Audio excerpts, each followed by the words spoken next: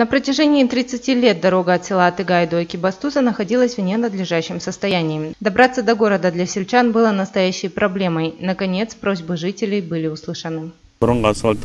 Проведена полная реконструкция. Старое покрытие сняли. Уложили новый асфальт по технологии в два слоя. Ширина дороги 6 метров. Все расстояние от села и до города полностью отремонтировали. Работы завершили менее чем за месяц. Близ села расположены угольные разрезы и заводы, поэтому по дороге часто проезжают и большегрузные автомобили. Ямочный ремонт в данном случае большой пользы бы не принес. Было принято решение о проведении капитального ремонта. На эти цели из городского бюджета выделено 264 миллиона тенге. Подрядчиком стала компания «Аза» из Павлодара. Работы выполнены действительно качественно. Теперь до города добираемся гораздо быстрее. Хотелось бы выразить благодарность за проделанную работу. В селе проживает более 500 человек. Большинство из них работают в городе и ежедневно проезжают по этой дороге.